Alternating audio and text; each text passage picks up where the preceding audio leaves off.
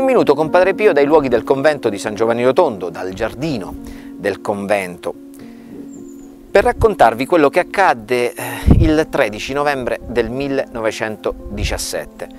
Padre Pio finalmente torna in convento. Questo giovanotto di 30 anni, perché tornava qui a San Giovanni Rotondo? Perché lo abbiamo raccontato qualche giorno fa, era in licenza e mm, dovette stare qualche giorno a casa per riprendere il suo abito di frate cappuccino.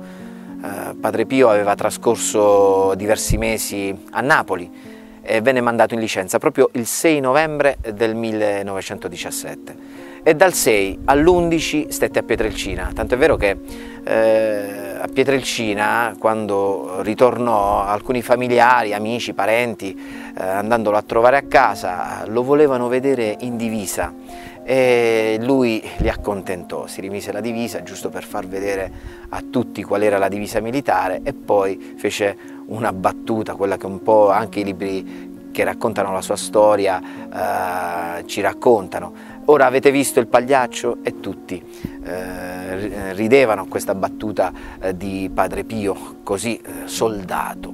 Ma Padre Pio, eh, tornando qui a San Giovanni Rotondo, fu veramente una prova per lui. Infatti in questa giornata Padre Pio prese carta e penna e scrisse a Padre Benedetto quello che era accaduto. Eh, ancora una volta Satana ha voluto mortificarmi. Domenica presi il primo treno a Pietrelcina eh, partendo alla volta di Foggia. Qui presi subito il treno per Lucera per venire da voi. Infatti eh, padre Benedetto che si trovava a San Marco la Catola aveva chiesto a padre Pio eh, prima di tornare a San Giovanni Rotondo di passare per San Marco la Catola e stare con lui qualche giorno per conferire eh, con lui. Ma eh, purtroppo a Lucera, eh, scrive Padre Pio, fui sfortunato, non vi erano neanche posti nell'automobile, erano tutti al completo e quello che più mi mortificò fu che nemmeno all'indomani avrei trovato posto. Infatti il giorno dopo scrive anche a Padre Agostino raccontandogli eh, tutto quello che gli era capitato e inoltre appunta anche questo, avevo chiesto una cortesia alle anime del purgatorio ma non sono riuscito